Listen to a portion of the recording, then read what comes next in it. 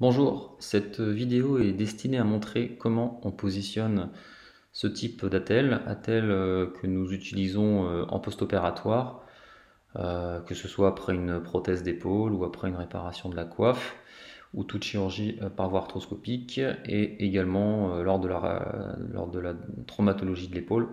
Donc attel qui est efficace puisqu'elle permet de mettre du froid en plus d'immobiliser le membre.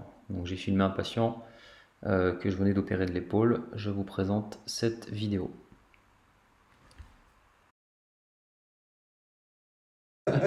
Donc on est à J1, ah, le lendemain d'une opération d'une fracture de la clavicule de l'épaule gauche. Hein, on, peut voir on, peut voir le, le pansement. Il a été refait ce matin? Euh, Non, pas encore. Ah, il n'a pas encore été refait pas, encore. depuis l'opération. Donc on voit, on voit, les agrafes qui sont ici.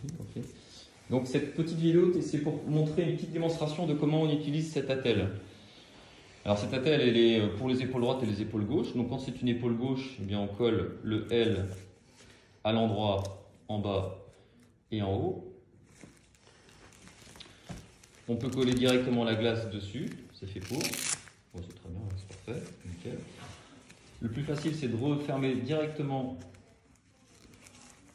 celle du bas et puis d'enfiler le bras, voilà, comme si c'était un t-shirt.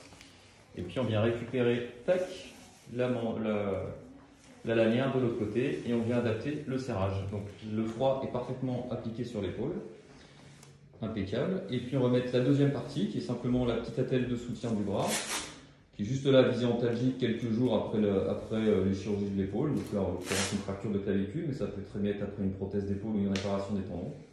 Donc on vient glisser la partie jusqu'au coude. On envoie la lanière en arrière on vient la récupérer, on la passe par-dessus l'épaule. Et puis on adapte le serrage pour que le, coude soit à peu près à 90 degrés en position de, confort. Et pour l'enlever,